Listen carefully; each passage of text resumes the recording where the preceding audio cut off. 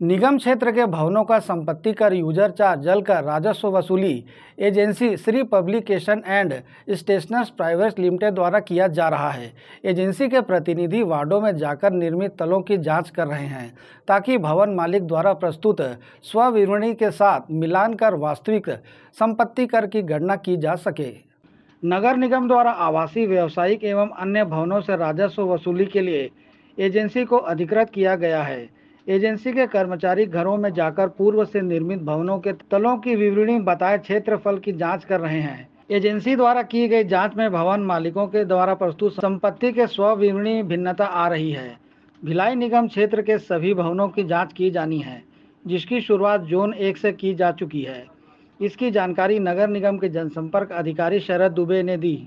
नगर पालिक निगम भिलाई ने राजस्व वसूली हेतु श्री पब्लिकेशन स्टेशनरी एक एजेंसी को राजस्व वसूली का ठेका दिया हुआ है और वो एजेंसी जो है नगर निगम क्षेत्र में घूम घूम के स्वविवरण की जाँच कर रहा है।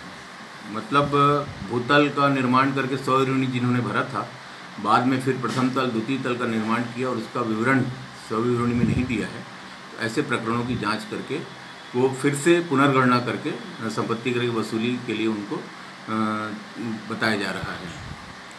नगर निगम भिलाई ने दिसंबर तक दो परसेंट छूट का प्रावधान किया हुआ है।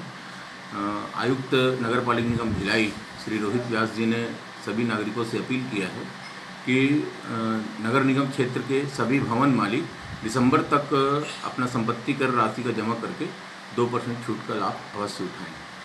नगर निगम प्रशासन ने क्षेत्र के भवन मालिकों से अपील की है कि भवन की स्वविवरणी भरते समय मकान में बने तलों की संख्या, निर्मित कुल क्षेत्र तथा रिक्त क्षेत्र की स्पष्ट जानकारी देकर अंतर की स्थिति में लगने वाले पाँच गुना शास्त्रीय राशि के दे से बचा जा सकता है। निगम में संपत्ति कर राशि का भुगतान दिसंबर तक करने पर दो प्रतिशत छूट का प्रावधान किया गया है। ग्रैंड एशियन न्यूज़ के लिए संजय दुबे।